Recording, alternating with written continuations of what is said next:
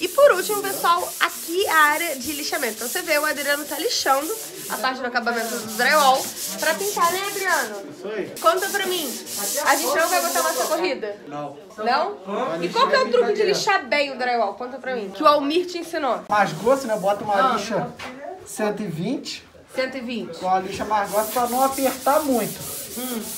E sempre lixar assim, ó. Aqui eu rebaixo. Aí tem Ah. três áreas de lixar. Lixa assim, ó. Primeiro essa parte e vai indo pro meio Ah, e pra outra parte, ó.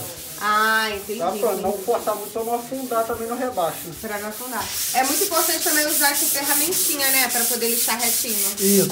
E sem ficar, pra não ficar com a marca da mão, né? É, porque ela é bem plana, né? Não, não pode ter ondulação pra não fazer buraco, né? É.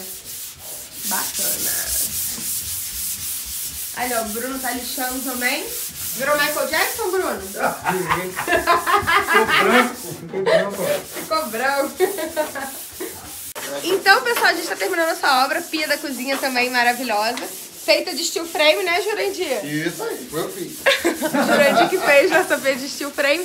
E é isso aí. Nossa casa tá quase pronta. Beijinhos, tchau, tchau. Curta, se inscreva. Gostou dessas dicas de acabamento? E aí? Essenciais, né? Eu acho, pelo menos. Dá seu comentário aqui, dá sua opinião. Fala pra mim o que você tá achando, tá bom? Beijinhos, tchau, tchau.